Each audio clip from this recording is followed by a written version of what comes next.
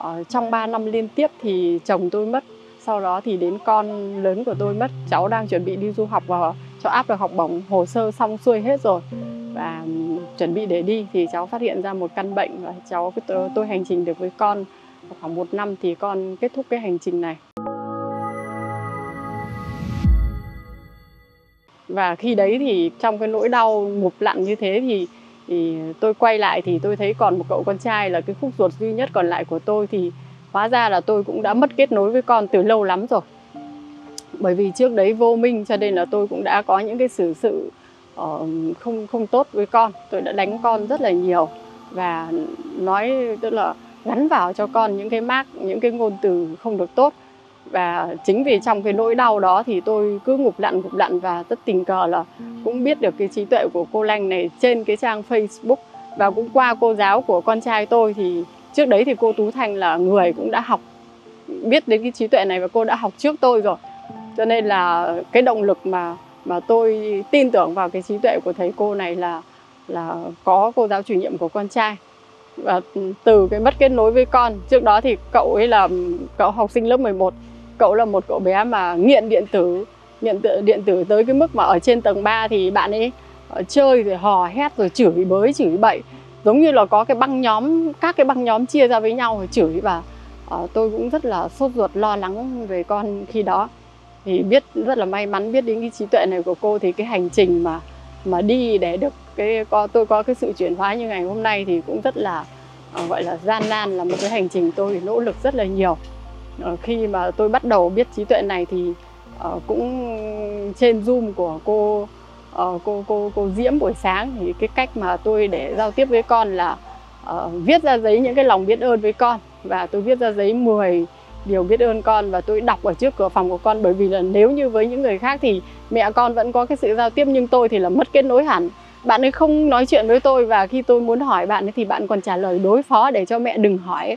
Tức là không có cái sự trao đổi qua lại và sau một thời gian cũng cứ kiên nhẫn ờ, đọc 10 lời biết ơn với con. Trước cửa phòng của con thì thấy con cũng thay đổi. Một hôm thì ngồi ăn thì uh, hỏi con về cô giáo chủ nhiệm thì con cũng trả lời rất là là là thoải mái rằng là cô uh, ở trên lớp cô không có tiết mà cô vẫn đến cô thả tim này. Thì tôi thấy là cái chị cô giáo chủ nhiệm của con là cái người đã biết đến trí tuệ này. Và tôi tin tưởng tôi đi tiếp cái hành trình này thì càng ngày càng học thì tôi thấy con tôi càng kết nối được với tôi và bản thân tôi cũng chuyển hóa rất tốt trước đấy thì tôi đang chìm lặn trong cái nỗi đau và ờ, biết biết đến trí tuệ này thì tôi thấy bình an trước các cái cái, cái các cái biến cố các cái nỗi đau nó từng đến với tôi như thế.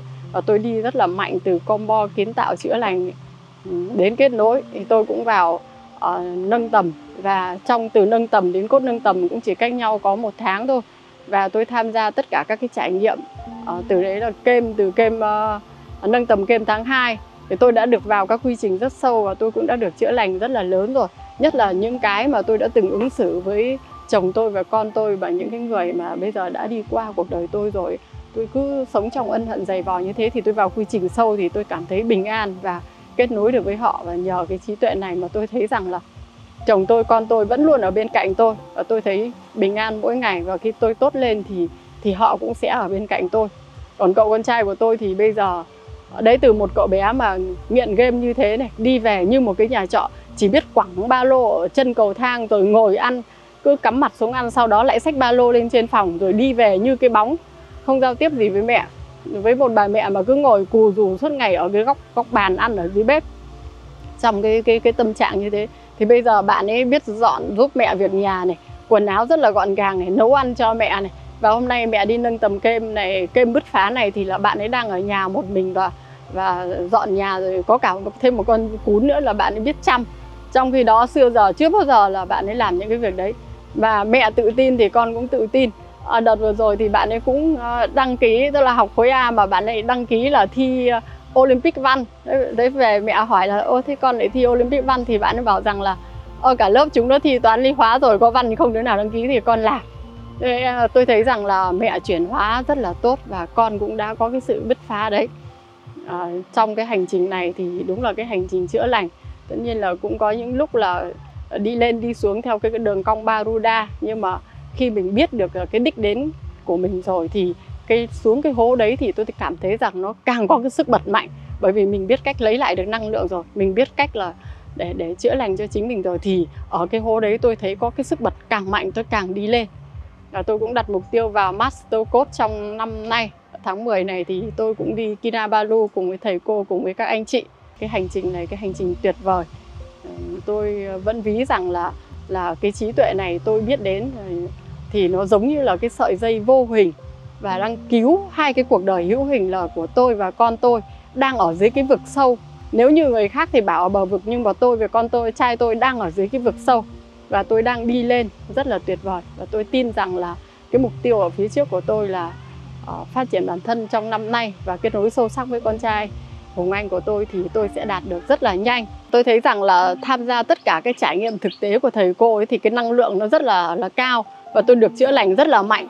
Cho nên là cái kênh bứt phá này thì qua các cái hành trình trước cái con người tài năng trong tôi nó đã được hiển lộ rồi thì nhất định trong cái kênh bứt phá này tôi phải cho nó bứt lên nó tỏa sáng mạnh mẽ hơn.